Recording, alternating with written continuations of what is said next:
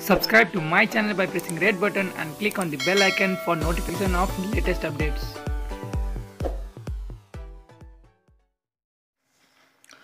कमल थापा नेतृत्वको राष्ट्रिय प्रजातन्त्र पार्टी रा राप्रपा र पशुपति शमशेर राणा र डाक्टर प्रकाश चन्द्र लोहनी नेतृत्वमा रहेको राप्रपा संयुक्तबीच शनिबार बेलुका पार्टी एकीकरण गर्ने सहमति भएको छ। थापा राणा र लोहनीद्वारा हस्ताक्षरित एकीकरण सम्बन्धी आधारपत्रमा तिनैजना अध्यक्ष रहने गरी पार्टी एकीकरण गरिएको छ भने सो पार्टीको चुनाव चिन्ह छ महिनाभित्र टुङ्गो लगाउने सहमति भएको छ। शनिबार गरिएको दस बुधे सहमतिका आधारमा पार्टी एकताको औपचारिक घोषणा फागुन अठाइस गते गर्ने बताइएको छ। सबै धर्मका बीच सनातन र पूर्ण धार्मिक स्वतन्त्रता सहितको सनातन धर्म सापेक्ष हिन्दू राष्ट्र हुने र सबै पक्षहरूलाई चित्त बुझ्ने सहमति र साझा संस्थाको रूपमा राज संस्था सहितको प्रजातन्त्र एकीकरणपछि राप्रपाको मुख्य नीति र सिद्धान्त हुने सहमतिमा बताइएको छ। डेढ वर्षभित्र एकीकृत पार्टीको महाधिवेशन गर्ने र त्यति बेलासम्म थापा राणा र लोहनी तिनजना एकीकृत पार्टीको अध्यक्ष हुने सहमति गरिएको छ। महाधिवेशनसम्म पार्टीको दैनिक कार्य सञ्चालनको लागि तीन अध्यक्ष समेत सदस्य रहने गरी निर्देशन समिति रहने सहमति भएको छ।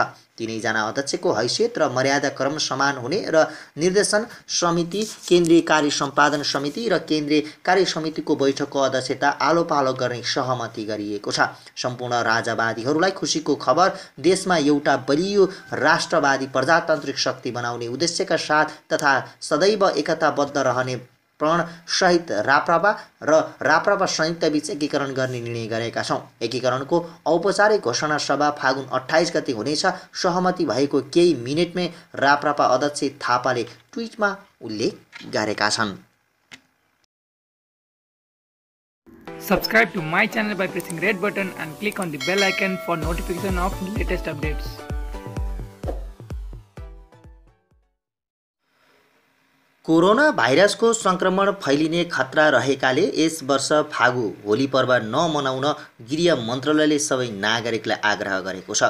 होली मनाउन भिडभाड गर्ने लोला पानी फ्याँक्ने रङ अबिर दल्ने गर्दा कोरोना भाइरस कोभिड उन्नाइस सङ्क्रमण फैलिन जोखिम बढ्ने भएकाले यसपटक होली नमनाउन गृहले विशेष आग्रह गरेको हो।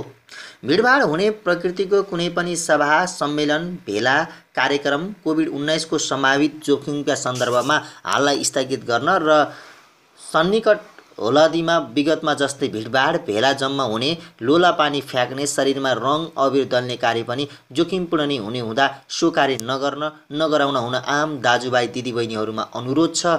शनिबार विज्ञप्ति जारी गर्दै गृह मन्त्रालयले भनेको छ। यस वर्ष फागु पूर्णिमामा सोमबार परेको छ। पहाडी भेगमा सो दिन फागु पर्व मनाउने चलन छ भने तराई भेगमा त्यसको भोलिपल्ट होली मनाउने चलन छ। गृह मन्त्रालयका सहसचिव एवं प्रवक्ता केदारनाथ शर्माको हस्ताक्षरमा जारी विज्ञप्तिमा कोरोनाको त्रास फैलिएको मौकामा उपभोग्य वस्तुको कृत्रिम अभाव सिर्जना गर्ने तथा कालोबजारी गरेको पाइएमा तत्काल सम्बन्धित निकायमा खबर गर्न पनि आग्रह गरिएको छ। विज्ञप्तिमा भनिएको छ हर्ष र उल्लासका साथ मनाइने होली फागु हाम्रो घर आँगनमा आएको छ। आपसी सद्भाव र भाइचारा अभिवृद्धि गर्ने पवित्र पर्व होलीको सन्निकट आउँदै गर्दा वि विधव्यापी रूपमा फैलिएको कोरोना भाइरस कोभिड उन्नाइसको सङ्क्रमण र सो सङ्क्रमणबाट नेपाल समेत उच्च जोखिममा रहेकाले विशेष सतर्कता अपनाउन विधि स्वास्थ्य सङ्गठनबाट प्रवाहित सन्देशका सन्दर्भमा अवगत नै छ। विशेष गरी ज्वरो आउने सुक्खा खोकी लाग्ने र श्वास प्रश्वासमा समस्या आउने कोभिड उन्नाइसका लक्षणहरू रहेका छन्। यो रोगको उच्च जोखिमका बावजुद यसको छिटो पहिचान तथा सङ्क्रमण व्यक्तिहरू तथा घर परिवार एवं समुदायले सावधानीका उपायहरू अवलम्बन गरेमा यसको प्रसार रोक्न सकिने दृष्टान्त स्थापित भइसकेको छ। देशको सीमा नाका र अन्तर्राष्ट्रिय आवत जावत केन्द्रहरूमा प्रभावकारी स्वास्थ्य परीक्षण रोगको निगरानी अस्पतालको पूर्व तयारी लगायतको यसको रोकथामका लागि गरिने विविध गतिविधिहरू नेपाल सरकारले प्राथमिकताका साथ कार्यान्वयन गरेको छ। हाल नेपालमा कोभिड उन्नाइस सङ्क्रमण भएका व्यक्तिहरू पत्ता लागेका छैनन् र यसको प्रसार समुदायमा भएको अवस्था पनि छैन। यस सम्बन्धमा उत्पन्न गरिएका विभिन्न प्रकारका हल्ला र प्रचारबाजीका पछाडि नलागे कोभिड उन्नाइसको लक्षण तथा सर्ने तरिका र बस्ने उपायका बारेमा स्वास्थ्य तथा जनसङ्ख्या मन्त्रालयले प्रदान गर्दै आएका सूचनाद्वारा आम नागरिकमा सचेतना फैलाउने तथा सजगता अपनाउने कार्यमा सबैको सहयोगको अपेक्षा गरिएको छ।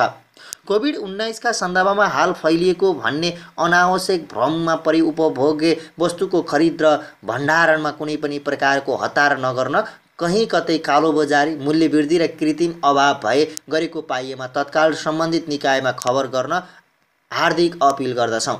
यसै सन्दर्भमा सार्वजनिक संरचना सञ्चार माध्यम र सञ्चारकर्मीहरूलाई सत्य र तथ्यपरक सूचना प्रभाव मात्र प्रवाह गरी जनमानसमा त्रासदीपूर्ण अवस्था सिर्जना हुन नदिन पनि अपिल गरिन्छ।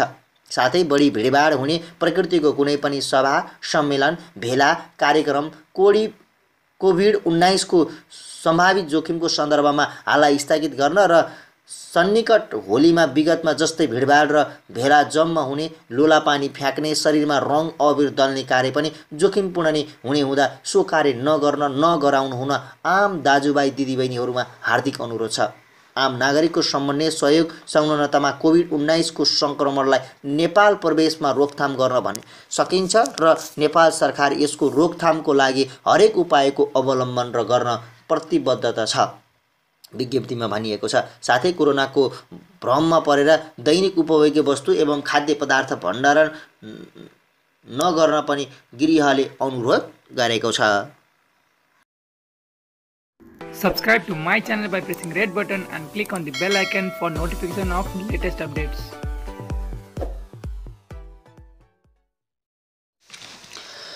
दक्षिण कोरियाले नेपाली कामदारको कोटा घटाएको छ आगामी वर्ष दक्षिण कोरियाले पाँच हजार सात सयजना मात्रै कामदार लैजाने भएको हो। एचआरडी कोरियाका प्रतिनिधि र वैदेशिक रोजगार विभागबीच शुक्रबार भएको छलफलमा दक्षिण कोरियाले श्रमिकको कोटा घटाएको जानकारी गराएको हो। आगामी वर्ष कृषि क्षेत्रमा कामदार नलैजान पनि कोरियाले जानकारी गराएको छ। तर यसअघि नै भाषा परीक्षा उत्तीर्ण गरेर रोस्टरमा रहेका श्रमिकहरू भने जान पाउनेछन्। गत वर्ष नेपाली श्रमिकका लागि दस हजार पचासजनाको कोटा तोकिएको थियो। त्यसमध्ये कृषि क्षेत्रमा तिन हजार र औद्योगिक क्षेत्रमा सात हजार पचासजनाको कोटा तोकिएको थियो। दक्षिण कोरियाले सन् दुई हजार आठबाट इपिएस भाषा परीक्षा लिएर नेपाली श्रमिक लैजान थालेको हो। पहिलो वर्ष दुई हजार आठ सय चौधजना दक्षिण कोरिया पुगेका थिए। दुई हजार नौमा भाषा परीक्षा सञ्चालन भएन। त्यस वर्ष अघिल्लो वर्ष परीक्षा दिएका एक हजार नौ सय एघारजना दक्षिण कोरिया उडेका थिए। त्यसपछि नियमित भाषा परीक्षा सञ्चालन गरेको कोरियाले सन् दुई हजार बाह्रमा भने परीक्षा लिएन। त्यसपछि नियमित नेपाली श्रमिक भाषा परीक्षा सञ्चालन गरेर लैजाँदै आएको छ। युपिएस लागू भएपछि त्रिसठी हजारभन्दा बढी नेपाली रोजगारीका लागि कोरिया पुगेका छन्। हाल करिब चालिस हजार जति कार्यरत रहेको इपिएस शाखाका निर्देशक कृष्ण प्रसाद खनालले जानकारी दिए। यसैबीच दक्षिण कोरिया जाने श्रमिकका लागि पनि यो वर्षदेखि बायोमेट्रिक सुरु हुने भएको छ। अब इपिएस भाषा परीक्षामा सहभागी हुने पहिल्यै बायोमेट्रिक परीक्षण गरिनेछ। यसका लागि हरेक परीक्षा सेन्टरमा बायोमेट्रिक परीक्षाको व्यवस्था गरिने निर्देशक खनालले बताए। भाषा परीक्षामा उत्तीर्ण भएकाहरूको सी परीक्षण गर्ने बेलामा पनि बायोमेट्रिक जाँच गरिनेछ। यी सबै प्रक्रिया पुरा भएपछि कोरिया उड्ने बेलामा पनि बायोमेट्रिक म्याचिङ गराइने खनालले जानकारी दिए। यसले नक्कली परीक्षार्थीको सङ्ख्या शून्य हुने कोरियाको विश्वास छ। एचआरडी कोरियाको प्रस्तावमा बायोमेट्रिक लागू गर्न लागि वैदेशिक रोजगार विभागका महानिर्देशक कुमार प्रसाद दाहालले बताए। यस्तै सबै प्रक्रिया पुरा गरे पनि कोरोनाको त्रासका कारण दक्षिण कोरिया जान नपाएको श्रमिकको उडान थप पन्ध्र दिनपछि धकेलिएको छ। शुक्रबार भएको छलफलले अझै पन्ध्र दिन कोरियामा श्रमिक नपठाउने निर्णय गरेको महानिर्देशक दाहालले बताए। यसरी उड्न लागेका कतिपय श्रमिकको भिसा सकिन लागेको इपिएस शाखाले जनाएको छ।